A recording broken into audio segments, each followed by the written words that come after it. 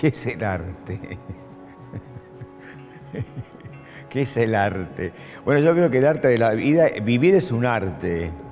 Yo creo que el arte es, eh, está en todo. Si uno lo sabe, si uno se da, se dar cuenta, el arte no solo está en los museos, ni en las galerías de arte, ni en los libros de arte. El arte está en uno. El arte es poesía.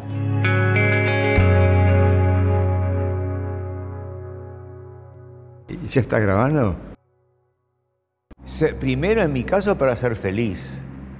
Yo no soy feliz y no tengo arte. Pero no te hablo de ver un, cuadro y una escultura, de levantarme a la mañana y ver el cielo arte, o ver un paisaje, o una planta, o una taza de café, o una media luna que encuentro hermosa. ¿Qué es el artista?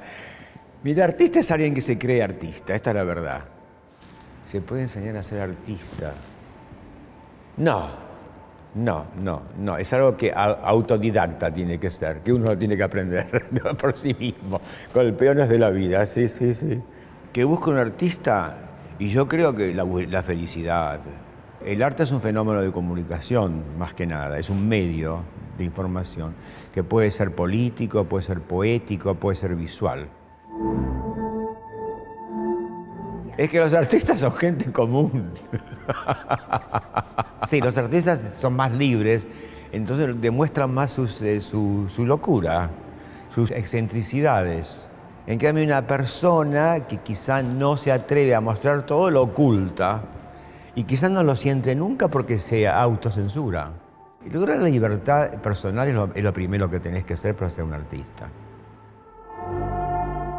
Para conseguir una idea es un largo proceso de trabajo y debo decirte que cambia a través de los años. Cuando sos muy joven las ideas te aparecen como burbujas una detrás de otra y a través de los años te dan más trabajo. Te sofisticás, trabajás, estás más elaborado, tenés más experiencia. Entonces lo que todo surgía naturalmente, como un chico, que se le ocurren cosas sin saber de dónde viene, cuando sos más grande tenés que trabajarlas para que te llegue esa frescura. Se puede, sí, es, todo es posible. Puede, puede ser muy inteligente y ser un pésimo artista. No quiero enemigos. El arte es oficio. El oficio y el talento. Haceme la pregunta otra vez. En un artista el oficio y el talento. Un albañil precisa talento para hacer paredes y un artista precisa talento para hacer sus cuadros o sus esculturas o sus fotografías. Sí, es una habilidad que se aprende este, trabajando. ¿Qué me tienta? Un día hermoso, un bello cielo. Odio la tortura. Si me arrepiento de algo, no. Era lo más abstracto que hay, es el tiempo. El espacio, hago así, estoy atravesando el espacio. El tiempo ni siquiera. El tiempo pasa a pesar tuyo. ¿Qué es el tiempo? Es una abstracción total que no existe. Pero es la única manera que tenemos de representarnos nuestras vidas, desde que nacimos hasta que morimos, ese largo o corto pasaje a través del tiempo. Es una, una invención que hacemos para, de alguna manera, para ser felices y para poder comunicarnos. No, la relación con este museo para mí es muy importante.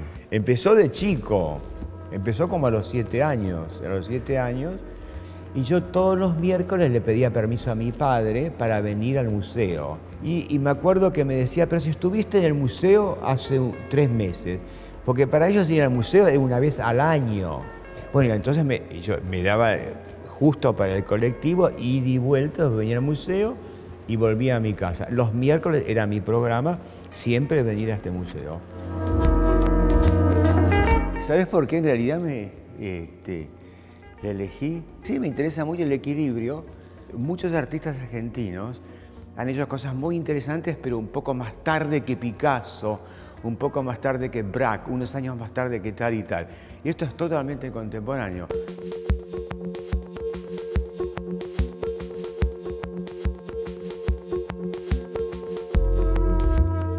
La certeza creo que es una cosa que el artista, estamos hablando de los artistas, en realidad es aplicable a todos los seres humanos, eh, es algo que tenés que tener como ser humano, tenés que tener certeza de tu existencia.